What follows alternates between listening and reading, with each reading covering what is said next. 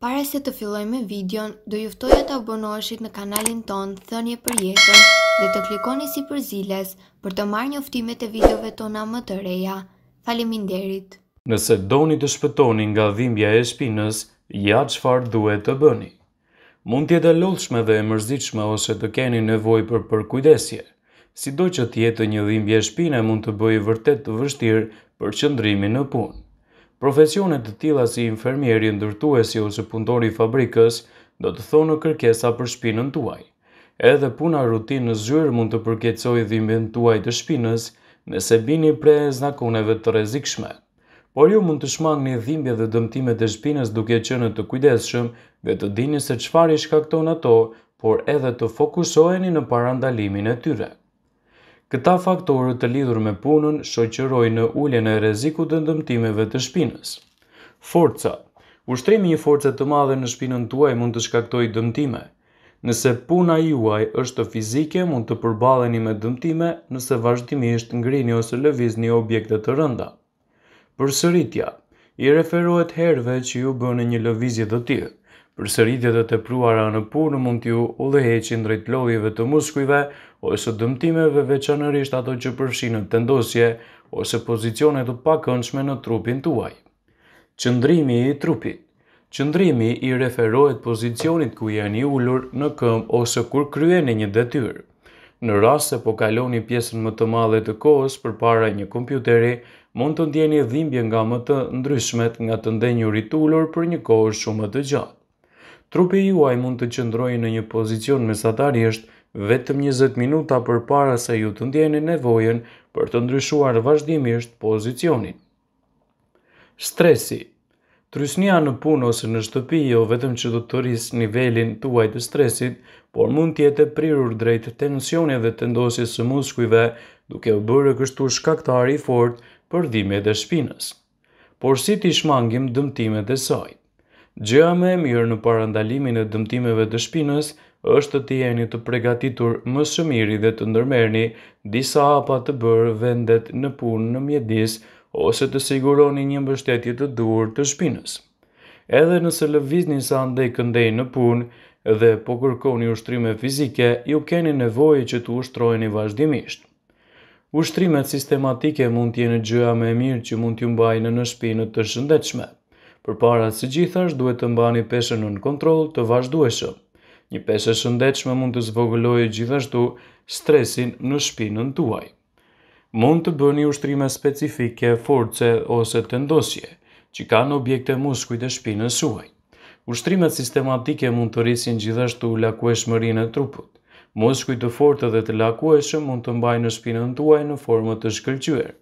Tregohuni të kujdesshëm ndaj qëndrimit, pasi një vendosje jo e duhur e trupit mund të stresojë shpinën. Kur përkuleni ose qëndroni me shpinën e shtrembëruar, ju ekzagjeroni linjat natyrale të shpinës, pozicione të tilla mund t'ju udhëheqin drejt lodhjes së muskujve. ndërsa qëndrimet e mira shtendosin muskujt dhe kërkojnë përpjekje minimale për të balancuar trupin. Qëndrimi në këmbë Nëse qëndroni në këmbë për një kohë të gjatë, e lini të pushojë njërën këmbë në një stol ose në një kuti herë pas here.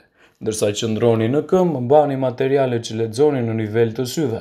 Mos e përkulni para se do të bëni edhe probleme në qëndrim. Qëndrim i ulur.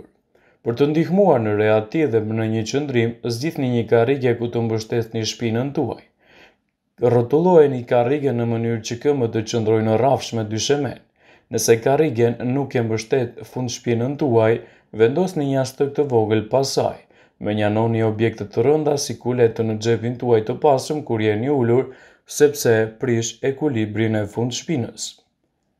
Ngrini ngarkesat si duhet.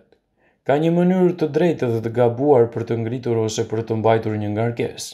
Për të ngritur një ngarkesë në mënyrën e duhur duhet të lini këmbët tuaja të bëjnë punën e tyre. Mbajini objektet para trupit dhe kërkoni ndihmë nëse ngarkesa është tepër e rëndë. Përshtateni vendin tuaj të punës. Shihni strukturën e zyrës ose zonën tuaj të punës. Mendoni si mund të modifikoni punën e përsëritur për të pakësuar kërkesat fizike. Kujtoni se po përpiqeni të zvogëloni forcën, përsëritjen e veprimeve dhe të qëndroni të shëndetshëm me një qëndrim të sigurt. Nëse pjesën më të madhe të ditës e kaloni duke u përgjigjur në telefon, provoni të përdorni kufje. Shmangni mbajtjen e telefonit mes veshit dhe shpatullës suaj, për të liruar një prej duarve për të bërë një tjetër punë. Nëse punoni në kompjuter, siguroheni që karrigia juaj të jetë e vendosur në përshtatje me monitorin. Përvetësoni zakone të shëndetit të punës. Tregoni kujdes rreth jush dhe njihni aftësinë e trupit tuaj në punë. Ndërmerrni këto hapa për të parandaluar dhimbjet e shpinës. Planifikoni lëvizjet tuaja. Organizmi punon në mënyrë që të eliminojë rrezikun e lartë me lëvizje të përsëritura. Shmangni kërrusjet e panevojshme. Kufizoni kohën që kaloni duke mbajtur valixhe të rënda, çanta krahë ose çanta shpine. Nëse jeni duke mbajtur diçka të rëndë, merrni vesh saktësisht se ku duhet të dorëzoni. Dëgjoni trupin tuaj. Nëse ju duhet të qëndroni ulur ose në këmbë për një periudhë të gjatë kohore, ndërmerrni pozicionin tuaj në mënyrë të vazhdueshme. Çdo pesëmbëdhjetë minuta merrni tridhjetë sekonda pushim për t'u shtendosur, lëvizur ose për t'u qetësuar. Provoni të qëndroni lart kur përgjigjeni në telefon, shtendosuni dhe ndryshoni pozicionin herë pas here. Nëse ju dhemb shpina, shmangni aktivitetet që e rëndojnë gjendjen e saj. Zvogëloni rreziqet. Rreziqet mund të dëmtojnë seriozisht shpinën tuaj. Mënjanoni gjithçka që mund të pengojë vendin tuaj të punës. Punoni të koordinuar dhe në baraspeshë. Është mjaft e thjeshtë, mund të bëni ushtrime baraspeshe për të ruajtur njëtrajtshmërinë e këmbëve tuaja dhe për të arritur rezultate konkrete mjaft të rëndësishme në qetësimin e shpinës. Nëse e kaloni gjithë ditën të kërrusur përpara kompjuterit dhe nuk ju qëndrojnë as shpatullat drejt, nëse pohoni me siguri për fat të keq, mund të jeni të familjarizuar me dhimbjet e këqija të shpinës. Sipas Shoqatës Amerikane të Kiropraktikës, tetëdhjetë për qind e njerëzve vuajnë nga këto sëmundje në një moment jetës së tyre, ndërsa sipas Qendrës për Kontrollin e Sëmundjeve, gratë janë më të rrezikuara se meshkujt që të përjetojnë dhimbje në pjesën e poshtme të shpinës.